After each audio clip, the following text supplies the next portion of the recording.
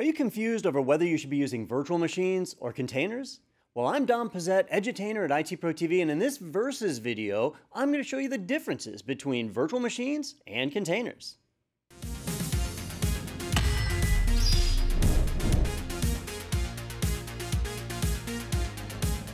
Virtual machines and containers can be confusing partly because there's so many players in the space.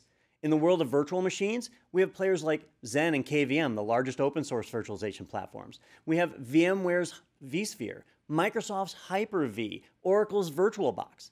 Over on the container side, well, we have Docker, who's the undisputable champion right now, but we also have Rocket, LXC, even Microsoft Windows has their own container platform. So how do we know which one to use? Well, before we pick, let's start with making sure we understand exactly what their purpose is. I've got a little analogy I want to share with you. Virtual machines are based on this idea of virtualization, which is very much like carpooling. When I drove to work this morning, I drove in my car. I have five seats in the car. I occupied one. I wasted 80% of the capacity of my car. With virtualization, we put more than one workload on the same piece of hardware to maximize the resource utilization. I could have fit four more people in my car. Five of us could have driven, well, from my house to here, right? We kind of expect a somewhat common workload. With containers, it's different. When I drive, I might drive a motorcycle, a car, a semi truck. All three drive different ways. I have to have different licenses for each one. Containers make them drive the same way. I can actually hop onto a motorcycle, onto a car, onto a semi truck, and be able to drive it because containers hide all of the complexity underneath and give me a common set of controls that I use to steer and drive the vehicle. Now, let's say we're having to pick between one and another. Let's talk about how they work to understand where the efficiencies are. With virtual machines, think of that carpool analogy. We have multiple operating systems running on one piece of hardware. We have our hardware, and we have some host operating system that acts as a hypervisor. It's like a traffic cop determining who gets access to hardware when. On top of that, we have partitions. And in each partition, we install a full operating system with any binaries and libraries and ultimately the applications we want to run. Each partition has its own completely separate operating system, all running on top of that shared hypervisor. Containers are a little bit different. We still have hardware. We still have some kind of host operating system. But instead of a hypervisor, we have a container engine. And what that container engine is doing is exposing parts of the host operating system into the partitions. The partitions only contain the binaries and libraries, the applications that we need. They don't contain an entire operating system. They don't have to. They can share the kernel of the underlying operating system.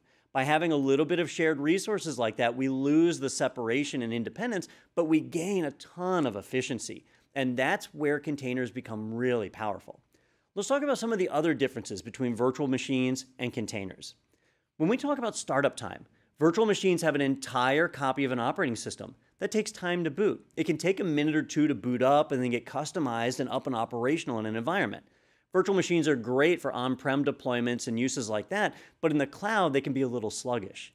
Containers, on the other hand, just contain the applications. They're running off of a kernel that's already running. They boot up in milliseconds. That makes them very rapid to deploy, which is great for cloud auto scaling. We also talk about disk space, right? When you have an entire copy of an operating system running in a virtual machine, that's going to consume disk space. And the more VMs you have, the more duplicate data that you have for those OSs, and that consumes extra storage. Containers, they share. They use a container image. They fire up with just their applications. They're far more efficient as far as the storage they consume. Portability.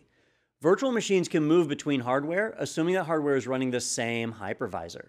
But with containers, most of the container services that are out there are compatible with Docker containers. That means I can write a Docker container and I know that I can run it on my laptop. I can run it on a server here in the building. I can run it in the AWS cloud or Microsoft Azure. Very, very portable, very easy to move around. We don't really have that with virtual machines. And then just general efficiency. Virtual machines have entire copies of operating systems, so they consume more RAM, more CPU, more disk space. Containers are far more efficient we're trading a little bit of isolation in exchange for performance and efficiency gains. And then lastly, that operating system and kernel. I've kind of already spoiled this one a bit, right? With virtual machines, you have dedicated operating systems and kernels per virtual machine. So if one VM crashes, it doesn't affect the others.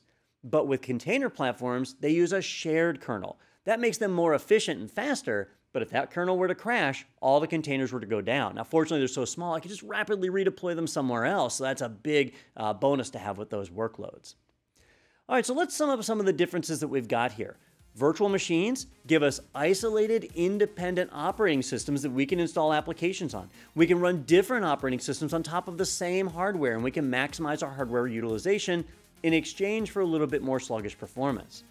Containers, on the other hand, are much faster. They take less space, they deploy more rapidly, and are wonderful for auto-scaled cloud deployments. But they leverage a shared kernel under the hood, and that makes them a little susceptible to not being isolated from the other containers running on the system.